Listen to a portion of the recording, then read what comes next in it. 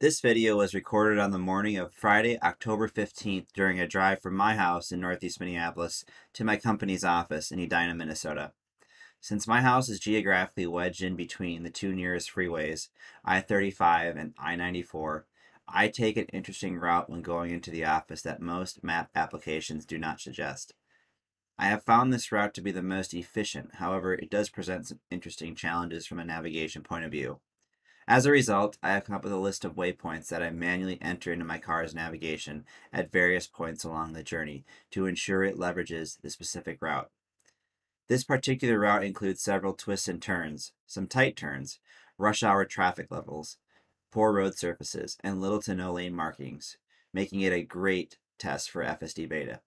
So with all that said, let's go for a drive and see how FSD Beta performs.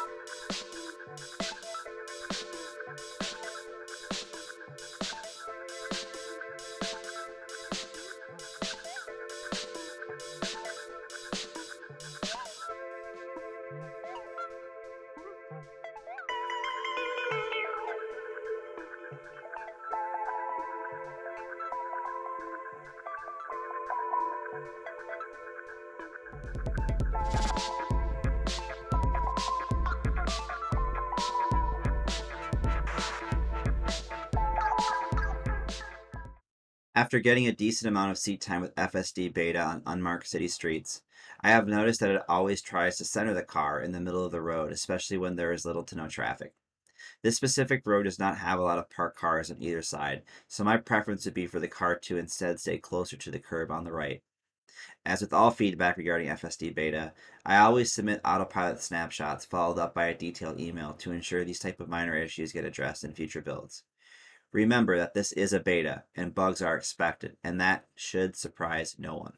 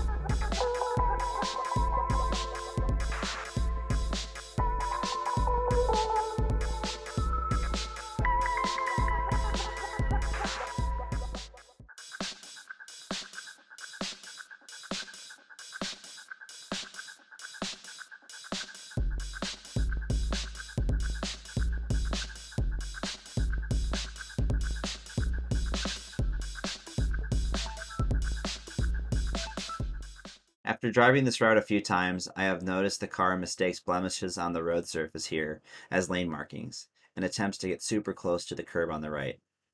We unfortunately have a lot of roads like this in Minnesota, especially in the Twin Cities, so I'm hopeful we will see this addressed in future FSD beta builds.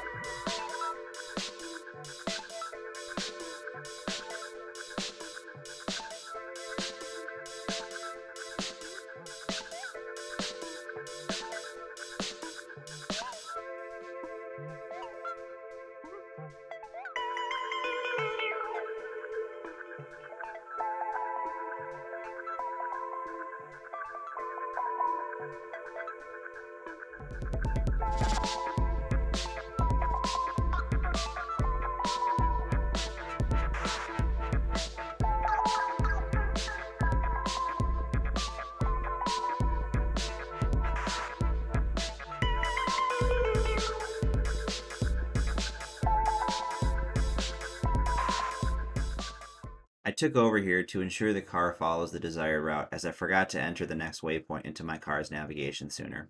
This is completely user error on my part and not the fault of FSD Beta.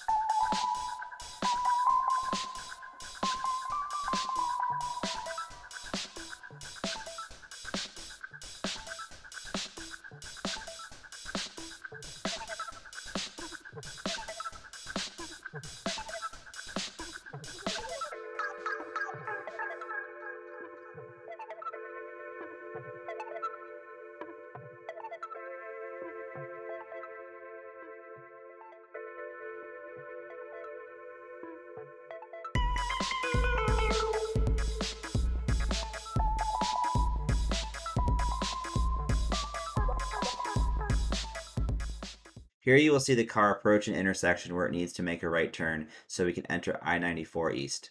Even with the traffic light green and turning yellow, the car shaves off way too much speed as I think it was nervous about the upcoming right turn being too tight. To help it along, I applied a little bit of throttle input here to get the car to proceed with the turn, which it executes well.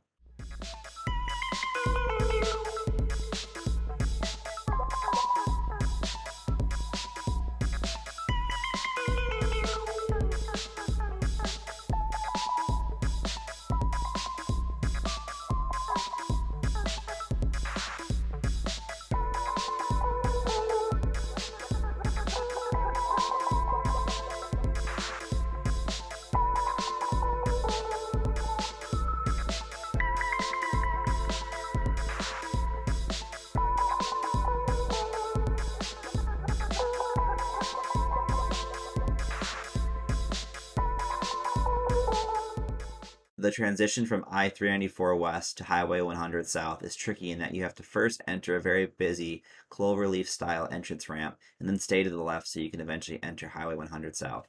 Because autopilot is a bit too cautious here, I had to intervene so that the car would make the entrance.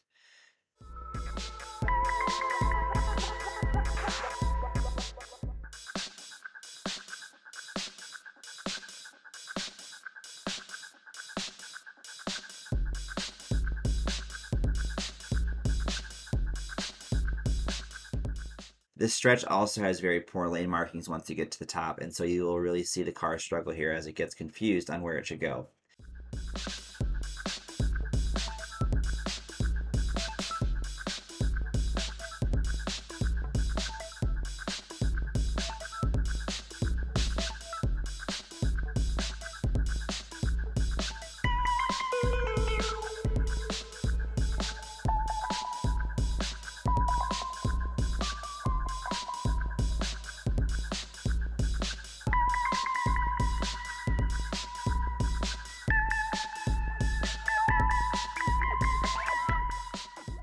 When it comes time to properly merge onto Highway 100 South, the car nearly merges across two lanes before catching itself. While this sort of behavior is not optimal, these scenarios are handled by the older autopilot software stack and should see many improvements once Tesla switches over to using the FSD beta stack for both city and highway driving.